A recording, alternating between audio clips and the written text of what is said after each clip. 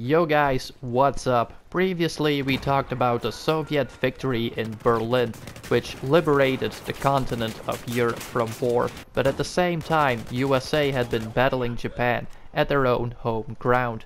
After a long campaign of island hopping in the Pacific, the Allies planned to use Okinawa Island as a base for air operations to invade mainland Japan.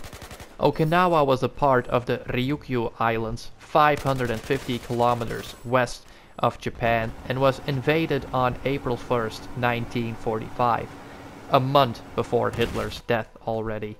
The 10th US Army alongside the 3rd Amphibious Corps invaded Okinawa and had naval support from Canada, Australia, New Zealand and the UK. But when the ground troops landed on the mountainous island to start Operation Iceberg, they didn't see any troops or incoming gunfire. Okinawa looked like a mountainous ghost island.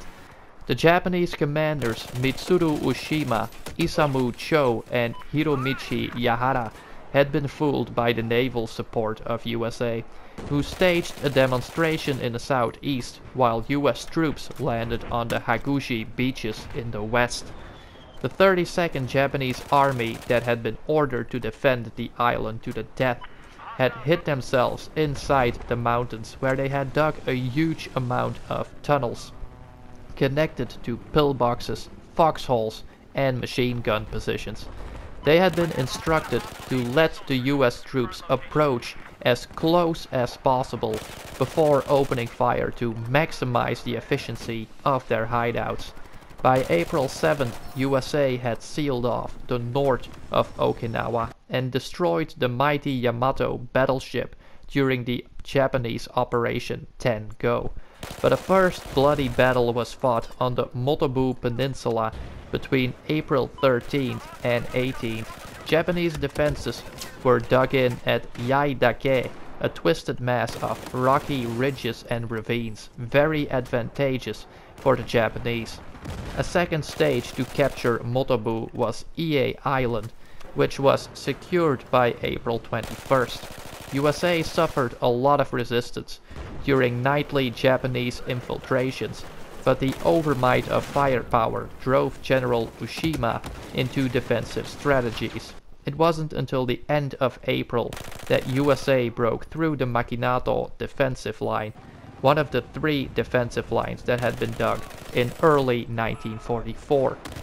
Japan placed a counterattack but saw it terminated by May 4th thanks to US counter-battery fire, even though Gross-Admiral Karl Dönitz had surrendered for Germany on May 4th. Japan and its citizens had no intention to surrender. A week later, General Simon Buckner launched a 10-day offensive with important US victories at Chronicle Hill and Sugarloaf Hill.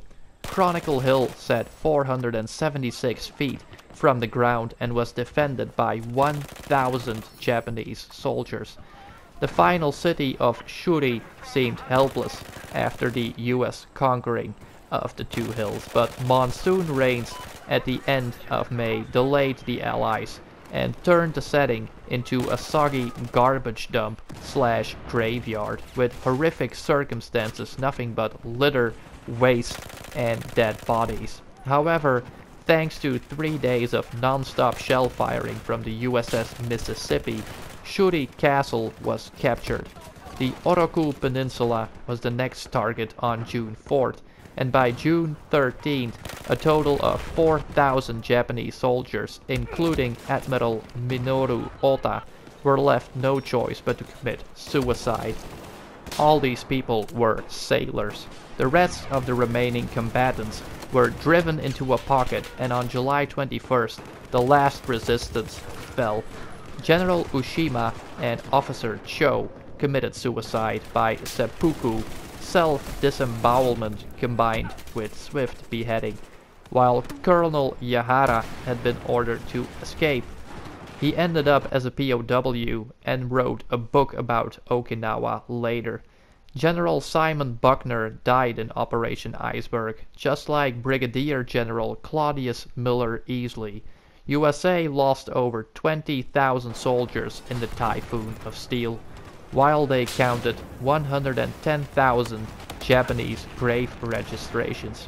150,000 out of the 300,000 citizens on Okinawa were killed, committed suicide, or went missing. On June 22nd, Operation Iceberg was over, but Okinawa would remain occupied by USA until 1972. With a new US base for air ops, the final stage of the Pacific War was just around the corner. See you on the next one guys. Peace.